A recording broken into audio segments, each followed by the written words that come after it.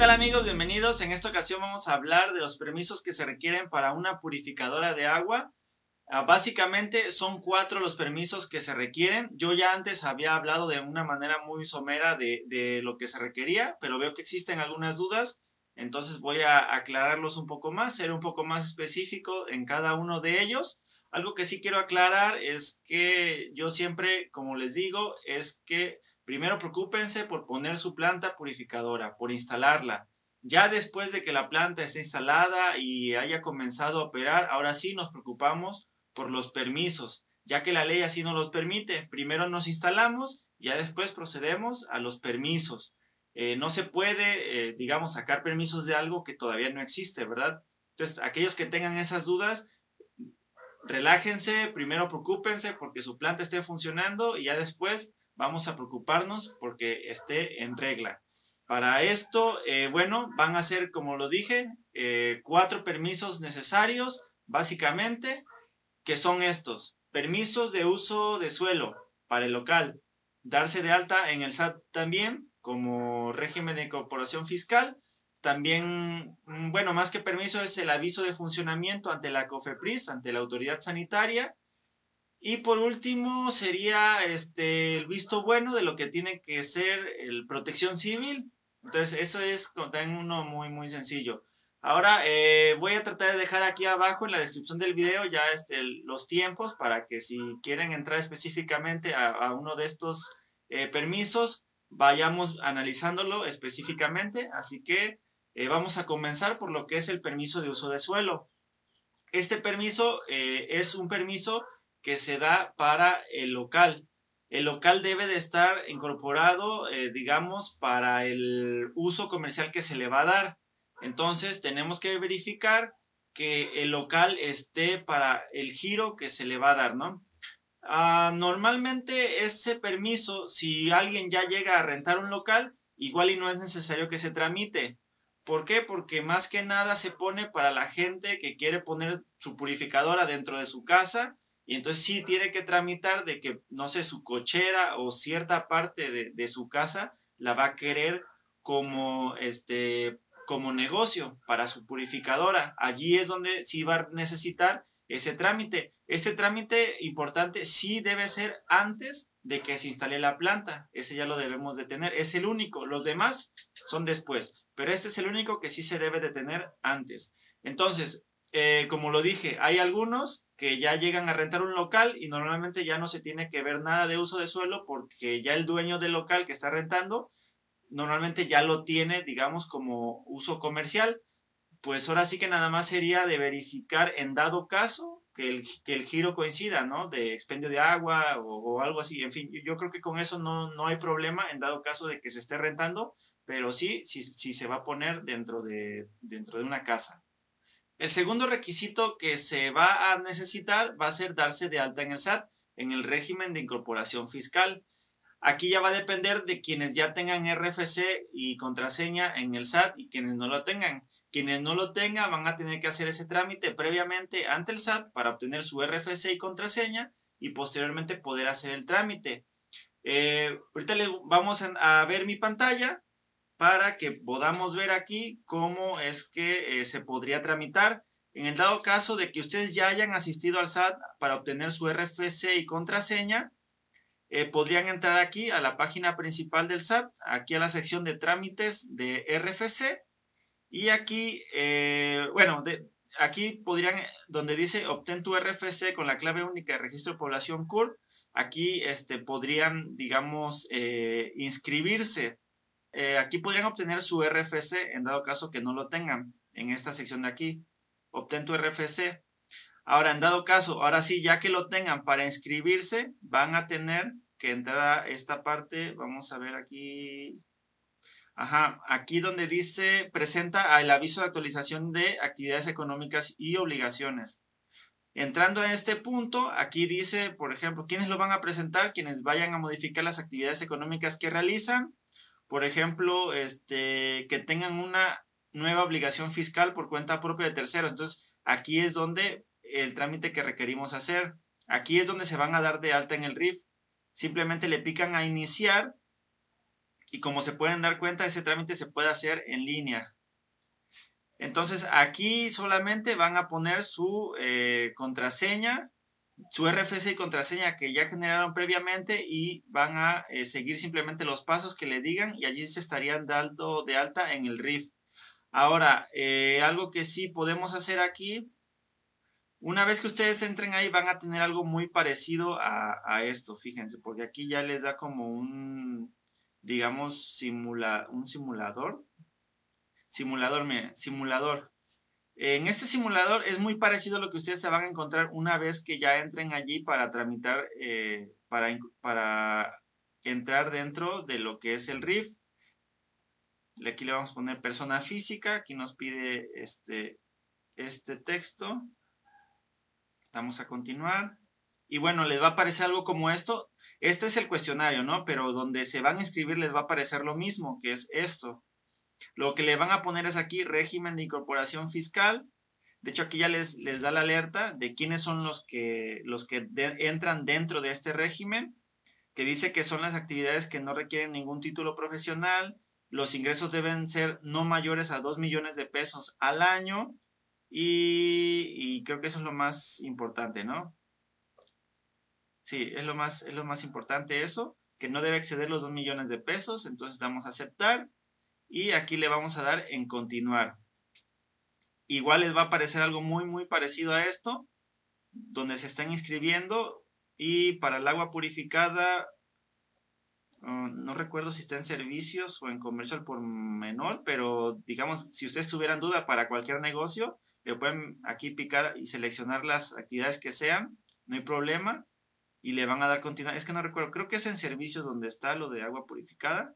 Entonces le doy siguiente y van a aparecer todo, aquí la lista, ¿no? De todo, de hecho, lo que, lo que le picamos. Entonces aquí yo, para buscar, simplemente voy a poner agua. Y aquí vemos que nos salen esto, de hecho, aquí la opción es comercio al por menor de agua purificada y hielo, ¿no? Aquí le pican este y se van hasta abajo y continuar. Entonces ahí ya este bueno, aquí como es, aquí porque es este, digamos, un simulador para saber a qué, qué tipo de obligaciones fiscales vamos a tener. Pues, por ejemplo, yo aquí le pondría que esta actividad la realizo por cuenta propia. Listo. 100%. 100% porque sería el 100% de mis ingresos. Si yo tuviera, no sé, un salario, que tendría que agregar cuánto representa mi salario y cuánto representa este negocio. De continuar. Ah, me pregunta si tengo trabajadores. No, no, no voy a tener trabajadores. Aceptar. Y le doy continuar. Y me va a salir aquí qué obligaciones fiscales voy a tener. Entonces ya aquí nos va a dar una idea, ¿no? Nos está diciendo que tengo que... Mm, ah, acá está, obligaciones. Tengo que declarar bimestralmente el ISR y también declarar bimestralmente el IVA. Entonces ya aquí nos vamos dando una idea de las obligaciones fiscales que tenemos. Eh, la verdad es que no me voy a meter mucho en esto porque eh, yo creo que hay mucha gente que ya tiene demasiados videos aquí en YouTube que pueden buscar y pueden encontrar ahí fácilmente este, lo que tiene que ver con darse de alta, con declarar, este, los que entran en el RIF, por ejemplo, eh, tienen 10 años donde se le van este, quitando un poco de impuestos, entonces pueden ir declarando primeramente empezar declarando en ceros, pero eso lo pueden ver, como les digo, en, en, otros videos, ¿no? Para que lo vayan a hacer, lo vean de una mejor manera. Yo aquí nada más así de una manera muy somera para que, para que vean cómo es que se entra. En fin, eh, ahora el siguiente permiso sería el aviso de funcionamiento a la COFEPRIS. Vamos a ver aquí, si nosotros entramos al, a esta página, que igual Voy a ver si les voy a dejar todos estos este, enlaces allí en la descripción del video para que lo puedan consultar si quieren. Esta es la página de este, .gov.mx y aquí es el aviso a la COFEPRIS. Este, aquí nos está diciendo los documentos necesarios que tenemos para presentar este aviso. Nos dice que tenemos que llenar eh, el formato de aviso de funcionamiento y aparte tenemos que llevar identificación oficial, será lo, lo, único que tenemos que hacer. Por cierto, no les dije que el trámite de darse de alta en el RIF es gratuito y se hace posterior a la instalación de la planta. Igual este trámite es gratuito, de hecho aquí dice costo gratuito, el de este que es este de aviso de funcionamiento. Primero se tiene que hacer el del SAT, ya que para llenar este formato que nos está diciendo aquí, nos va a pedir nuestro RFC y pues ya lo debemos de tener, ¿verdad? Entonces primero es lo del SAT y luego el aviso de funcionamiento. Entonces, aviso de funcionamiento, hay que llevar este formato lleno. Es un formato algo un poquito extenso, pero no, no es muy complicado de llenar. Aquí nos va a pedir pues que llenemos nuestros datos principales, así de, nosotros, aquí viene este, nuestro nombre, todo eso. Y también acá abajo nos va a pedir los datos del establecimiento.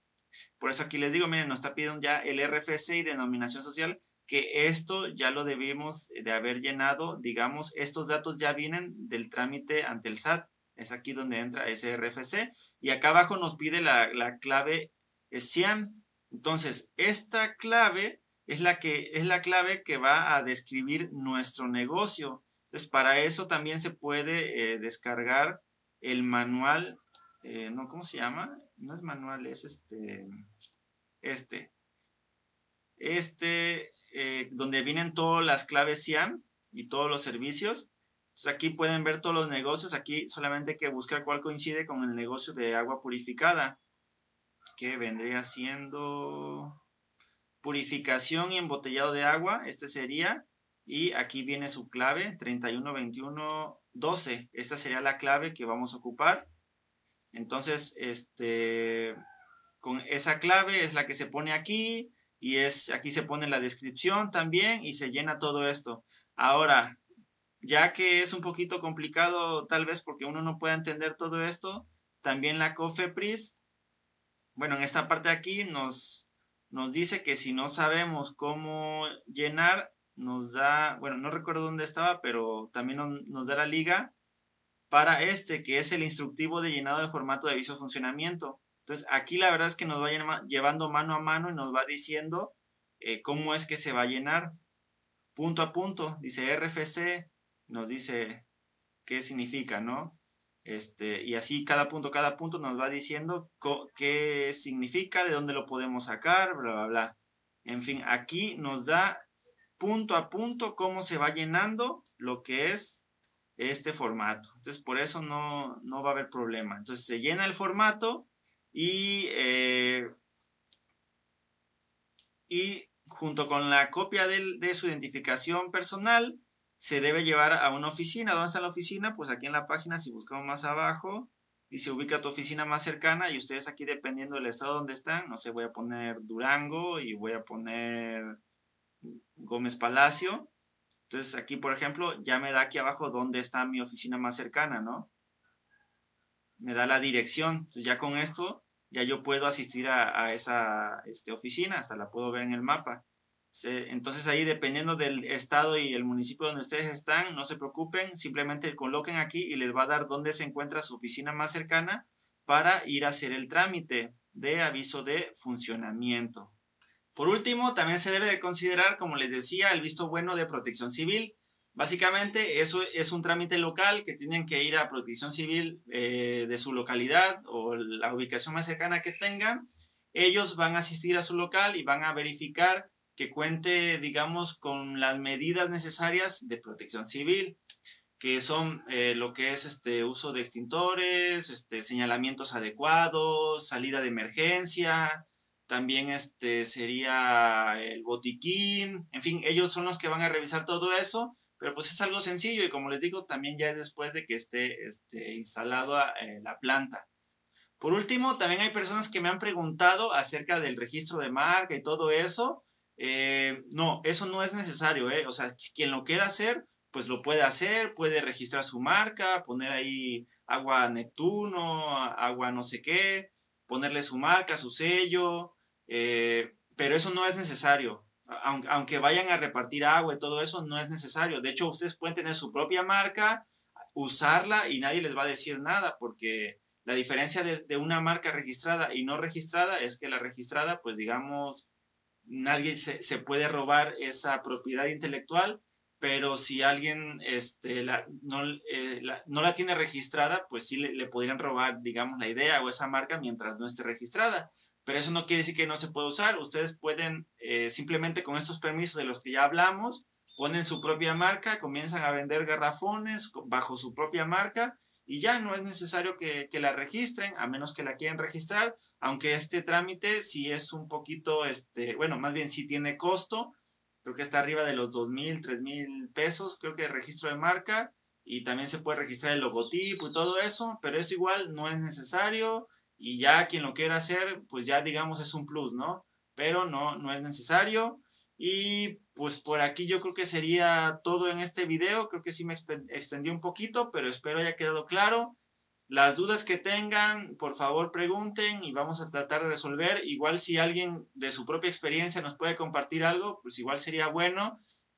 Este, yo voy a seguir tratando de contestar eh, la mayor parte de comentarios que pueda. Y pues bueno, esto sería todo. Ya saben, primero la planta, luego los trámites. Así que bueno, nos vemos en el siguiente video.